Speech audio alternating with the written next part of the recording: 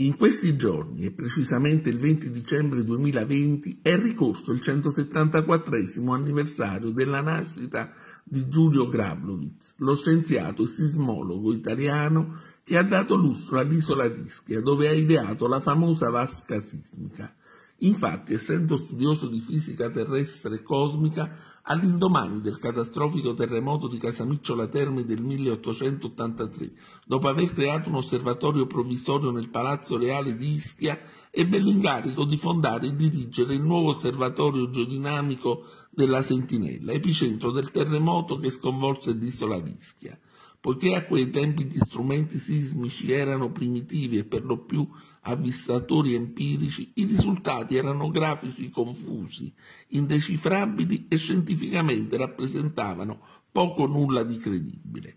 Fu lui allora ad indicare la giusta via per ottenere dei sismogrammi leggibili divise gli apparecchi tra quelli per onde rapide e quelli per onde lente. Adottò ai registratori i pendoli orizzontali del Rebel Passpitz, riuscendo così a catturare con un solo apparecchio le onde sismiche di svariate lunghezze. I suoi pendoli orizzontali furono gli antenati dei sismografi moderni. Ebbene, Grablovitz, dopo quella straordinaria esperienza professionale, non lasciò più l'isola verde. Morì nel 1928 e fu tumulato nel cimitero di Casamicciola. E proprio a Ischia, a distanza di quasi un secolo dalla morte, i nipoti continuano a tenere vivo il suo ricordo e a conservare documenti originali importantissimi. E siamo proprio in casa Grablovitz tra i documenti straordinari ed originali, ormai datati più di cento anni e prodotti direttamente dal famosissimo scienziato triestino, come ci ha spiegato il nipote Paolo Capuano.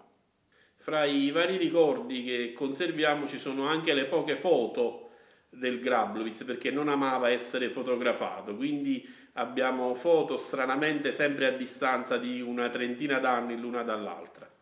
E oltre a questo abbiamo una cartolina molto significativa che è quella di Favolino. Favolino è stato uno dei più grandi enigmisti italiani e forse il fondatore della società enigmistica. Questo mi spinse a contattare la società enigmistica, la quale mi rispose dicendomi che Grablovitz è stato uno dei suoi primi eh, fondatori, autori e si faceva eh, chiamare col nome di San Giusto, quindi uno pseudonimo. Successivamente invece cambiò il nome in Paolina Grablovitz, che in realtà era la figlia che aveva solo sette anni, quindi era un gioco nel gioco. Oltre Favolino abbiamo un documento molto importante che è quello eh, legato alle mine sottomarine. Perché cosa successe? Nel 1918 il Grablovitz registrò uh, un rumore in mare, un vero e proprio rumore, in quanto era l'esplosione di una mina.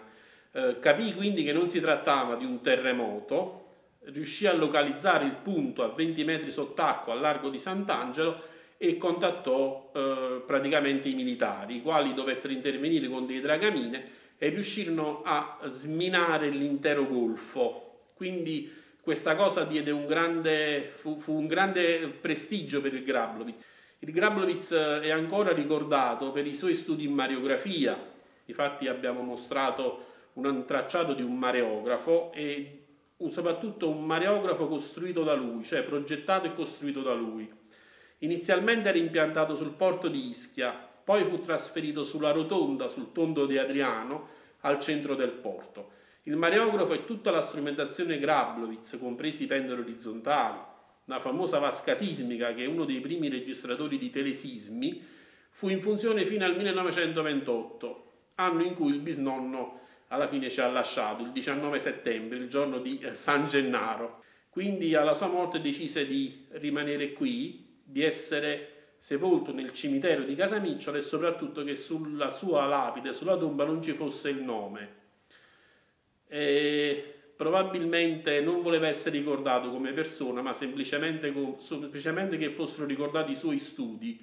Ed è questo quello che noi come famiglia in questo momento intendiamo fare, rivalorizzare soprattutto quello che è stata l'opera scientifica del Grablovitz.